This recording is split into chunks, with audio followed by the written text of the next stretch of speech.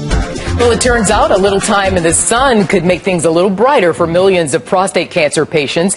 This after researchers discovered that vitamin D can help block a chemical that causes the tumors to grow. Dr. Samadi, you're up on this one. I want to find out how much time in the sun are we talking? And also, do you have to couple that with over the counter vitamins like vitamin D3 as well?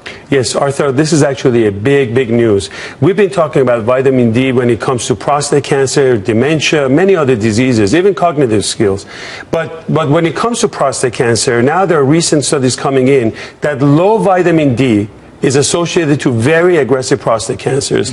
But we didn't really know exactly how vitamin D is going to prevent prostate cancer. Now we have the answers. We think that sun activates that vitamin D under your skin. Once it's activated, it activates another gene that's called GDF15. And that's what inhibits inflammation and the tumor growth. Big news. So for a lot of people who are thinking about taking vitamin D, you should be taking at least a thousand IU, international unit a day. That's minimum. Talk to your doctors and find out exactly. This is a great news for people that are taking this. Now, low vitamin D increases prostate cancer, causes dementia, schizophrenia, so many other things, including erectile function. So it's a great, important vitamin. And so what we've said is 10 minutes three times a week is absolutely what you need. So We've been so sun phobia. Absolutely, but you have to have exposure of the skin, otherwise it won't work. So also the other thing that Marc will mention is for a lot of people who are diagnosed with prostate cancer, this site, Prostate Cancer 911, is available to everyone who is diagnosed with prostate cancer.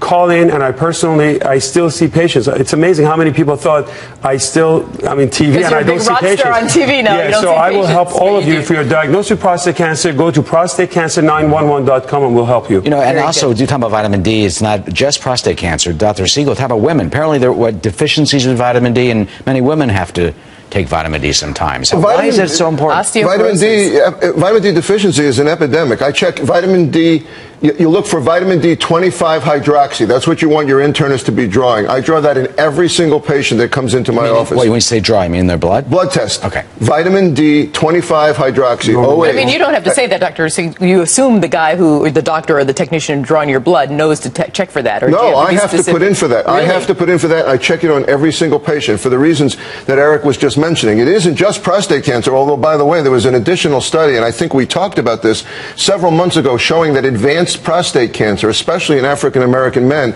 correlates with low vitamin D levels. So clearly, we're getting more and more evidence that vitamin D is hugely important for prostate cancer prevention, for preventing aggressive prostate cancers, also, though, breast cancer and colon cancer. And of course, bone growth right. is, a, is another issue with it people that are obese tend to have very, very high, very, very low vitamin D levels because they, they get it gleaned right out of their bloodstream. The, the fat cells take your vitamin D level, your vitamin D away. Vitamin D is a super hormone. It's more of a hormone than a vitamin. It's important for every organ in the body the heart, the lungs. We've seen heart disease go up if you have low vitamin D. It's a really important if vitamin. You, if you take a multivitamin every day, you know, they, they, got that whole list of like, you know, 40 different little thingies in there. Is, it doesn't have enough. vitamin enough. D? That, that only has about 400 IU, maximum 600. It may not be enough. So what Marc just mentioned is absolutely important. You need to make sure that you get your vitamin D uh, 25 dihydroxy, and also the level should be between 30 to 80. That's the number that you want to remember. It has to be between 30 to 80, usually around 50 nanogram per ml is a normal value. And you get the energy, you get your, you're not fatigued anymore. It really works across the body as a hormone to really so keep you're saying going. you should, you should take a supplement? Uh, and the yes, supplement yes. I recommend, by the way, is vitamin, vitamin D3. D3. You taught me that, 2,000 yes. units, actually, mm-hmm. one, to, one to 2,000 units a day, depending on how low you are, because you're probably not going to get enough in the sunshine, especially here in the Northeast.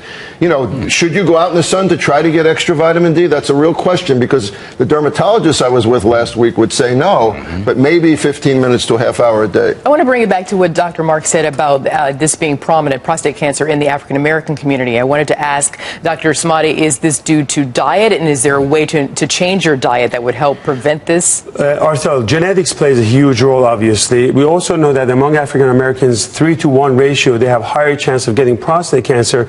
But also, when you talk about skin, extra pigmentation blocks some of the sun to get through. So you may need a longer period. So when normally they need 10, 15 minutes, you may need to be there for about half an hour to an hour to really get enough sun to activate that vitamin D. And that's really the answer.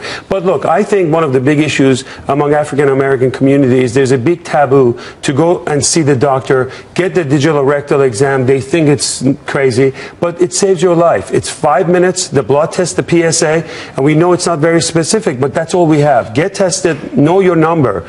Everybody knows their cholesterol. That's why he started something called Women for Prostate Cancer Health, because tell us about Well, this. we have we have something called Women. See, now you're asking Women for Prostate Health, and there's a, on the Facebook, Dr. David Samadi. There's a lot of information. It's the women that bring men to the office. It's the women that would look at the guy and say, "Hey, what's your PSA? Let's go see the doctor." And that's really taking off, and it's saving a lot of lives. I posted it on my Facebook as well, and a lot of women commented, and they're saying, "Thank you, thank you," because you're right. It takes women are the best. That's all. if you want to get line.